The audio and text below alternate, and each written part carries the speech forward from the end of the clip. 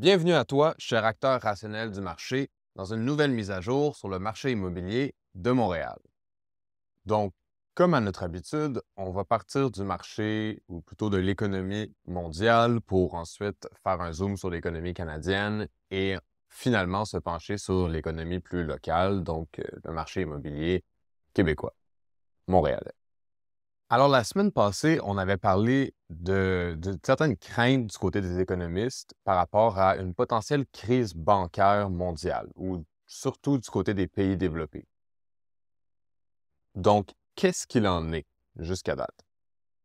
Ben, en gros, il y a quand même eu une certaine actualisation de ce risque-là. Ça s'est réalisé, mais c'est pas une dégringolade totale euh, comme on aurait pu le craindre vraiment dans la pire des situations. Pour être vraiment précis, on a surtout quatre banques qui se retrouvent dans de, mauvais draps, comme on peut dire, dont trois aux États-Unis et une en Suisse.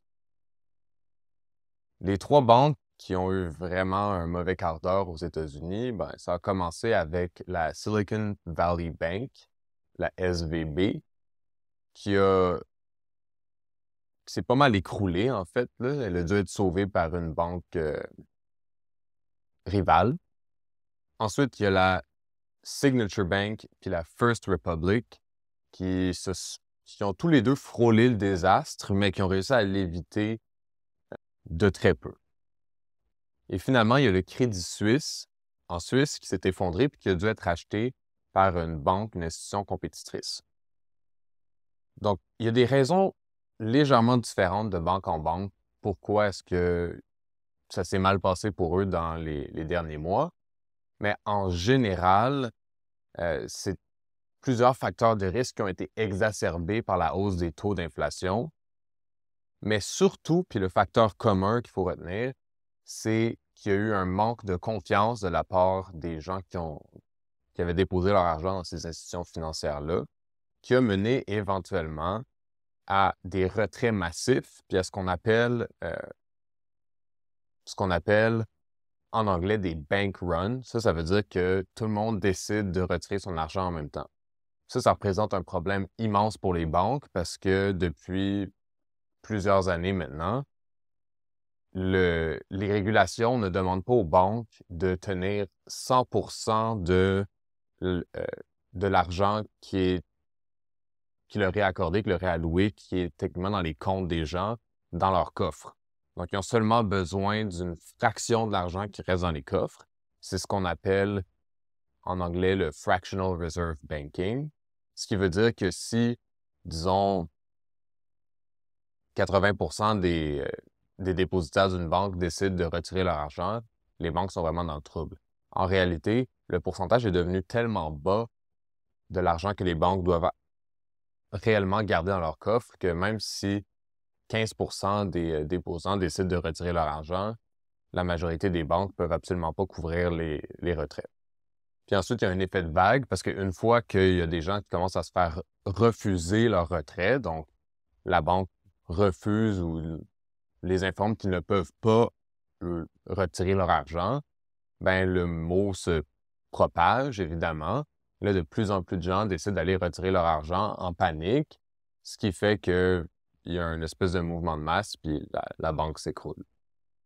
C'est entre autres pourquoi je soupçonne qu'on n'a pas énormément entendu parler de ça. Ça a été ébruité très peu, je pense, entre autres parce qu'il y a une certaine compréhension que plus le mot s'ébruite, plus ça devient émotionnel, puis plus les gens sont susceptibles d'aller retirer leur argent. Puis comme malheureusement ou heureusement, je ne suis pas là pour faire ce jugement-là, ben on est dans un système où le système bancaire repose entièrement sur la confiance des consommateurs. Il ne faut pas que tout le monde perde confiance en même temps parce que sinon, toutes les banques vont s'écrouler. Donc, passons, passons, mais est-ce que c'est différent, cette itération-là, disons, de la crise bancaire ou d'une crise bancaire, de la crise de 2008, par exemple? Ben, en peu de mots, oui, c'est différent.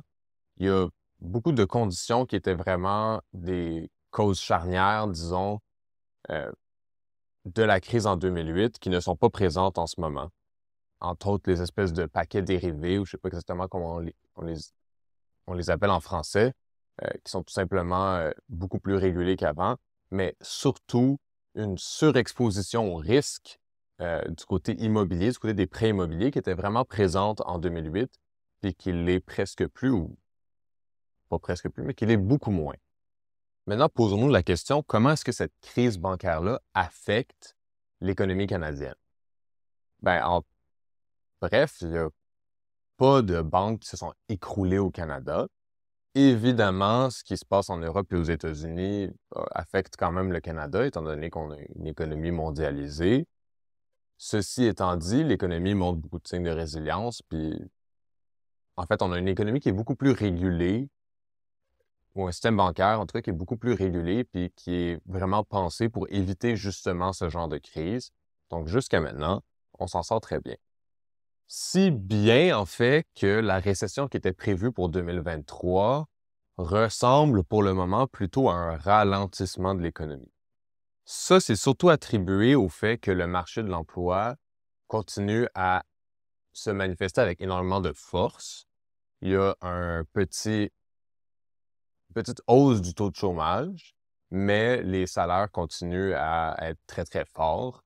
Donc, ça agit comme une éponge pour absorber le choc un petit peu euh, au niveau de l'économie. Donc, l'économie continue à relativement bien se porter. On peut même se réjouir d'ailleurs que l'inflation a descendu à 5,2% par rapport à ces 5,9% qui étaient les derniers chiffres qui ont été annoncés. En fait, ça, c'est même 0,2% sous ce à quoi on s'attendait. On s'attendait à ce que l'inflation descende à 5,4% puis elle est descendue à 5,2 donc c'est une bonne nouvelle. Ce qui a d'ailleurs permis à la Banque du Canada de geler le taux directeur et donc de ne pas nous infliger une nouvelle hausse du taux directeur qui est maintenu à 4,5% ce mois-ci. Tout ça nous indique que la Banque du Canada semble toujours assez confiante qu'elle va réussir à atteindre sa cible de 3% d'inflation d'ici la mi-année 2023. Bon, précisons que même si on pense arriver à 3 d'ici mi-2023, ça ne veut pas dire que immédiatement les taux d'intérêt vont commencer à redescendre, malheureusement pour plusieurs d'entre nous. Plutôt, les taux d'intérêt vont peut-être être gelés ou très légèrement redescendus, mais dans tous les cas, la majorité des analystes s'attendent à ce que les taux d'intérêt ne commencent à redescendre qu'à mi, voire fin 2024. Les prédictions les plus optimistes nous diraient début 2024. C'est certain que la Banque du Canada veut quand même atteindre éventuellement sa cible ultime de 2% d'inflation. On est encore relativement loin de cette cible-là. On a parlé de l'économie canadienne en général. Parlons maintenant de l'immobilier canadien en tant que tel. L'inventaire, dans le fond, euh, immobilier a redescendu pour la première fois depuis l'automne 2021. Donc, il y a eu une très légère reprise des ventes qui a permis à l'inventaire de passer de 4,2 mois à 4,1 mois. Qu'est-ce que ça veut dire, ça, compter l'inventaire en mois? Ça veut dire que si l'inventaire cessait d'augmenter maintenant, euh, puis que les ventes euh, restaient au même niveau, le nombre de ventes par mois, ben on aurait assez de maisons sur le marché en ce moment pour que pour durer 4,1 mois. C'est une manière de représenter l'état de la situation. Dans les faits, ce que ça veut dire, c'est que il y a plus de ventes, disons, que le mois dernier. Il y a une petite reprise des ventes, ce qui nous permet de réduire un petit peu l'inventaire. Ceci étant dit, l'inventaire est déjà très, très bas. Mais ce que ça pourrait indiquer, c'est qu'éventuellement, alors que les ventes reprennent, il va y avoir plus d'intérêt pour l'immobilier, donc un petit peu plus de, de demandes que d'offres, ce qui va permettre au prix de cesser de chuter, ce qui est en effet le cas en ce moment. Il y a beaucoup de zones où les prix ont arrêté de chuter, d'autres zones où ça a continué à chuter. Donc, il y a un ralentissement peut-être du déclin des prix au niveau national. Et éventuellement, on pourrait espérer que ça pourrait mener, pourrait, à euh, une reprise immobilière, à ce que les prix recommencent à, remonter. Donc, c'est un signe qui est très, très, très mitigé. Mais c'est relativement heureux comme présage. Du côté vraiment local pour l'immobilier montréalais, il y a très peu de mouvement en fait. Les valeurs stagnent beaucoup. Il y a un peu de surenchère dans certaines zones très spécifiques. Maintenant, en général, les immeubles se vendent à la valeur affichée, à la valeur, au prix demandé, dans le fond. Ce qui est bon signe par rapport aux derniers mois, ce qui est clairement pas un signe d'une espèce de reprise incroyable, euh, certainement pas d'une surchauffe. Ceci étant dit, c'est pas un déclin. Puis tout ce qui n'est pas un déclin en ce moment est quand même une bonne nouvelle au point de vue du marché immobilier. Il est encore trop tôt, évidemment, pour dire que c'est le bas de la courbe et qu'il va avoir tout de suite une relance. Ceci étant dit, on a de plus en plus de raisons d'être optimiste. Donc voilà, vidéo relativement bref aujourd'hui. Comme vous avez probablement pu le dénoter, il y a peu d'actions sur le marché.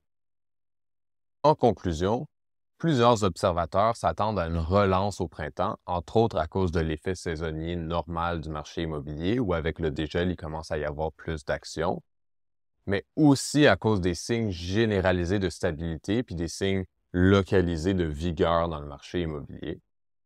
Dans tous les cas, il semblerait qu'on ait les pires mois de la correction derrière nous et qu'on puisse espérer se diriger vers de meilleurs jours côté immobilier. Merci beaucoup d'avoir passé un moment avec moi. On se revoit le mois prochain pour une nouvelle mise à jour du marché immobilier. Touche du bois, on va avoir des bonnes nouvelles.